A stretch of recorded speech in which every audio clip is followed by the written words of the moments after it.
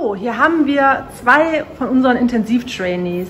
Wie ist es euch denn bislang ergangen? Ihr seid ja jetzt schon eine Zeit lang auf der Intensivstation.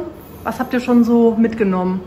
Ja, da steige ich einfach mal ein. Ich bin die Julia, ähm, befinde mich jetzt schon in meinem zweiten Intensiveinsatz und zwar auf der konservativen Intensivstation.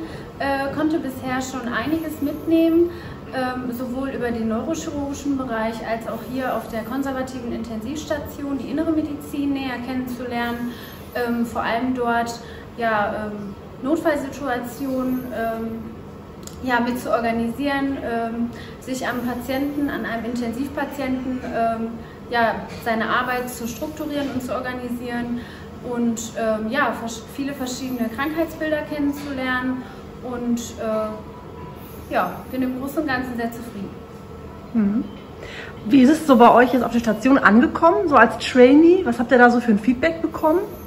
Ähm, also ich muss sagen, bisher ist es super gelaufen. Ich hatte bisher immer einen Mentor an meiner Seite, wo ich nie das Gefühl hatte, wenn ich eine Frage stelle, dass, dass es lästig ist oder so, sondern eher, dass äh, eben direkt darauf eingegangen wird und man in Kontakt äh, geht und äh, ja, da nochmal ein bisschen in die Tiefe geht und mhm. Dinge klären kann.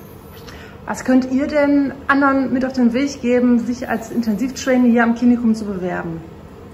Also ähm, ich finde einfach, wenn man gerade von einem anderen Haus kommt und äh, noch nie auf einer Intensivstation gearbeitet hat, ist das der optimale Einstieg. Man ähm, wird nie allein gelassen, man hat immer jemanden an der Hand und man kommt, bekommt wirklich alles bis ins kleinste Detail erklärt und deswegen kann ich das jedem nur empfehlen.